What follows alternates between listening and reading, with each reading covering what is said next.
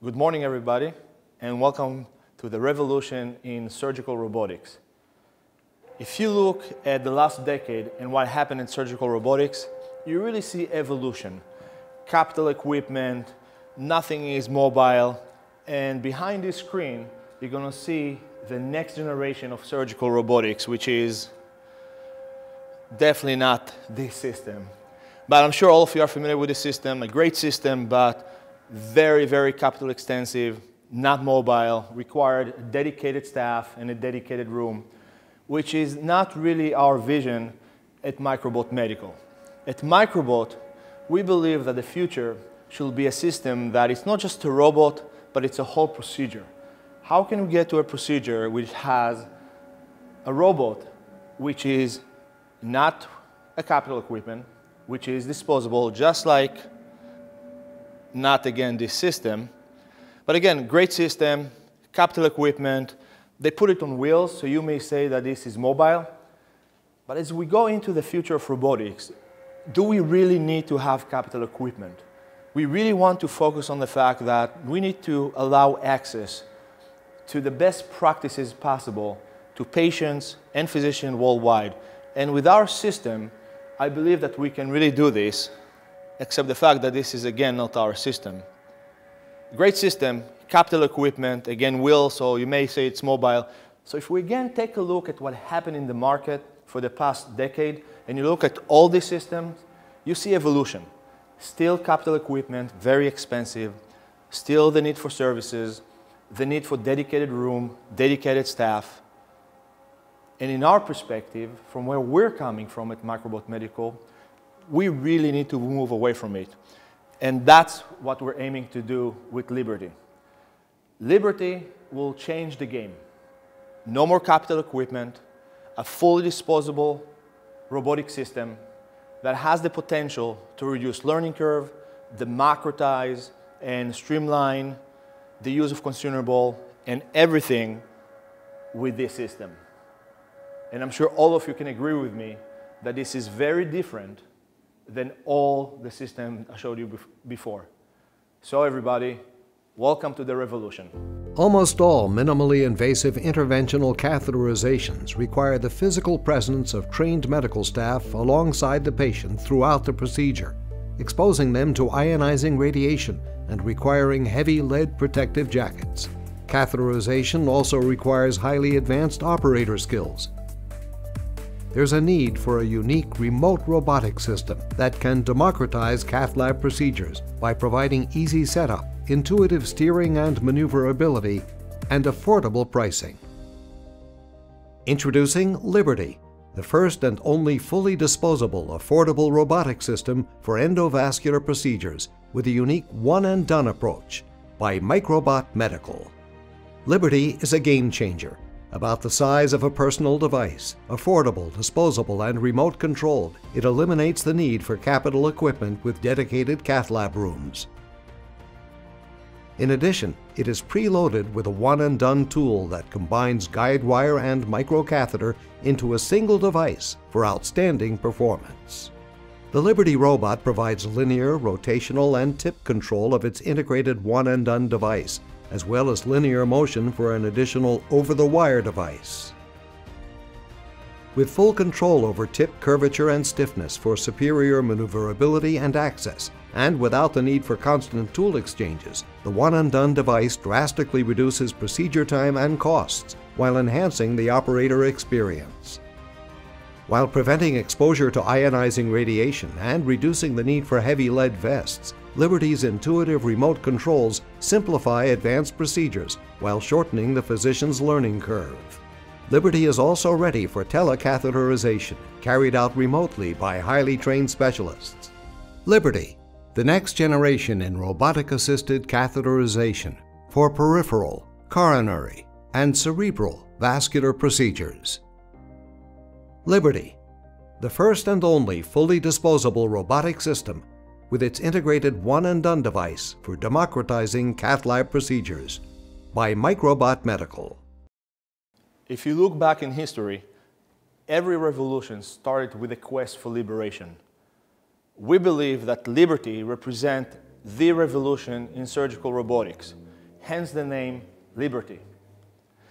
Liberation from capital equipment. As you saw before, great systems, but all of them required massive capital equipment, massive expenditure, dedicated rooms, no more. You saw that system. This is where the future is. Surgical robotics that are fully disposable without a capital equipment.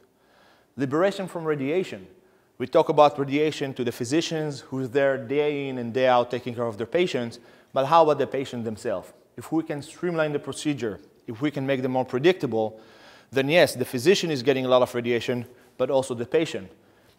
Can we get to the point, and that's where we are at Microbot Medical, where procedure will be predictable and will be done outside the radiation room with the physician. Liberation from surgical strain. All of you have been standing here with me for the past 30 minutes. How does it feel? And this nice gentleman, I just gave him the lead vest when he walked in, so I'm sure he doesn't really like me right now. But he's been here for 30 minutes with that vest. Dr. Morag, which you'll meet in a second, he's wearing it for 8 to 10 hours every day.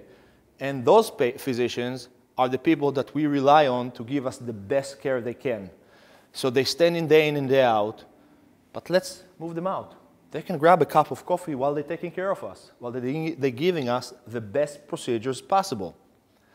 And last but not least, we need to look holistically. How can we use the robotic system and utilize them in order to liberate us from multiple consumable? You're going to hear from Dr. Morag that this is pretty much how a table looks like when he's done with a procedure five to eight very expensive guide wires and microcatheters. What we're aiming to do at Microbot Medical with Liberty is again look at the whole procedure and with our one and done capabilities, we have the potential to integrate it and allow to do a procedure with less consumables. So everybody, welcome to the revolution. Next, I would like to introduce Dr. Eyal Morag to everybody. Dr. Hi, Morag, it's good to see you finally Pleasure without uh, the lead vest. Liberated. Liberated. Completely liberated from the lead and the strain. But then finally, the team, everybody's all yours. I'm very excited to be here and uh, share uh, my experience with uh, Liberty. I've been with this team uh, since the inception of this uh, idea. And as you can see, I'm holding in my hands a very intuitive and straightforward um, control panel, controlling the device over on the table. Uh, what we have here on the table is a one-to-one -one model of the um, human abdominal aorta, uh, including all the blood vessels supplying some uh, vital organs. Uh, the, the plastic model here that you're seeing uh, is actually uh, the liver. this plastic model here is the stomach, and these are the vessels supplying these organs. in addition, we have a vessel supplying the small bowel, which is the SMA. Uh, we have uh, a vessel supplying one kidney and the other kidney on the other side, and uh, both vessels supplying both uh, legs. Uh, in this model here, we inserted a, a guiding catheter um, on the left, in the left common uh, um, iliac, common femoral artery, um, which is a routine procedure that we do. And through this guiding catheter that has been advanced into the celiac trunk, which is the main blood vessel supplying the stomach and the spleen, we inserted and um, introduced our system, which includes a guide wire and a microcatheter.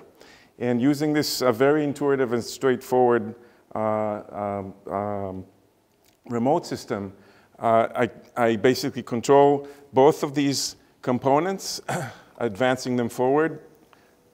Uh, in this case, I'm advancing the guide wire through this very tortuous splenic artery um, and then following, followed by advancement of the microcatheter, as you can see here, over the wire and into this tortuous vessel. I can control this easily and, and advance both of them together.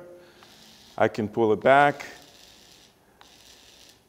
And I also can control the tip of the guide wire and move it to the left or to the right in order to canalize other tortuous uh, vessels within the system. This makes this procedure uh, very intuitive, uh, straightforward, and will uh, hopefully decrease the learning curve in a very significant way. So, um, uh, you know, physicians can use this device in a very straightforward manner. Thank you, Dr. Morag, for showing this with us. I have a question for you. From your experience, can you plan in advance for how many consumables you're going to use in the procedure? So, you know, we would like to have an idea of how many of these uh, catheters and wires we use before the procedure. We use our non-invasive methods like CT, MRI, and ultrasound to kind of plan the procedure, and we'll have these catheters in advance. But in real life, um, we almost always use more catheters and wires than initially planned because the anatomy is obviously is different than uh, what we see in, uh, in the non-invasive imaging, and it's a very dynamic process. So we'll end up, as we've seen in this slide, with lots of wires and catheters on the table.